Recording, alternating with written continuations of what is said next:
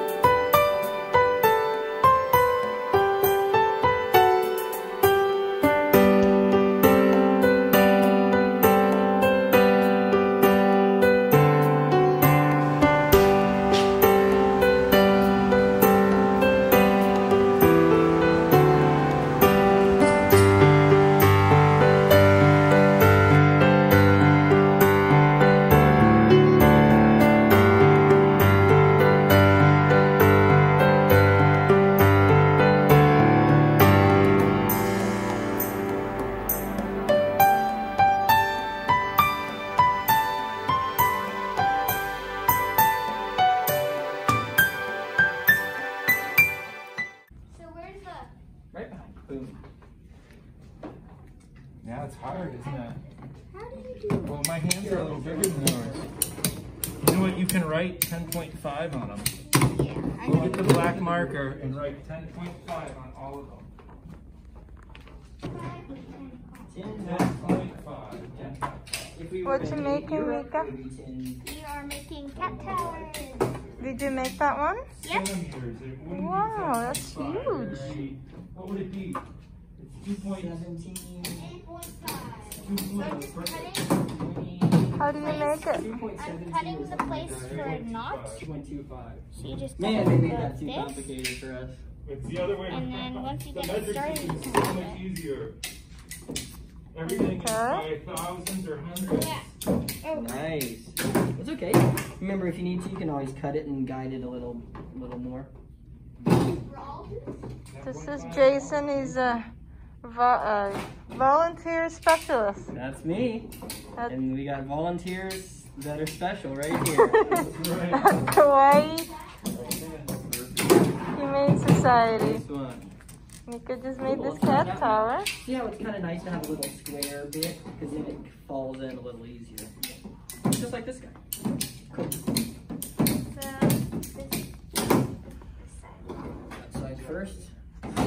Goes. You might need a little more. Tight knots are good. Go.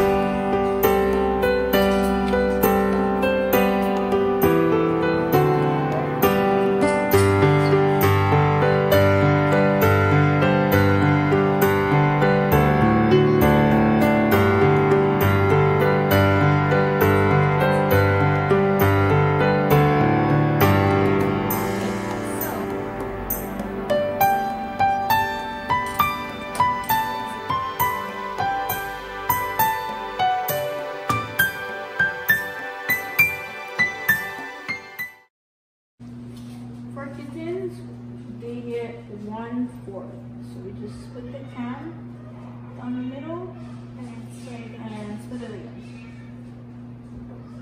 And then one kitten, it's one of these. Okay.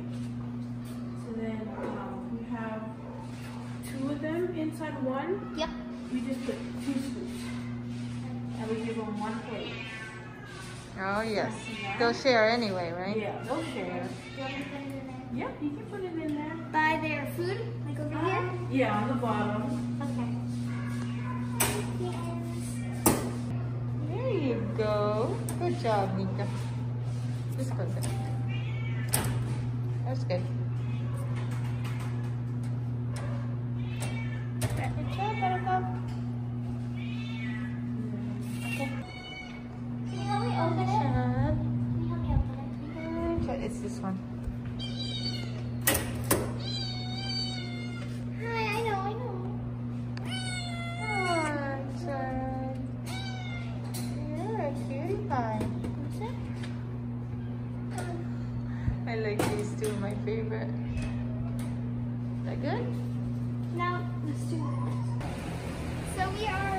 We just put in a load of dirty towels and stuff for the pets, and it's washing.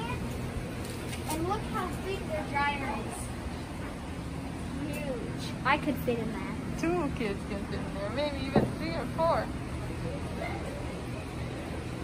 So yeah. Perfect.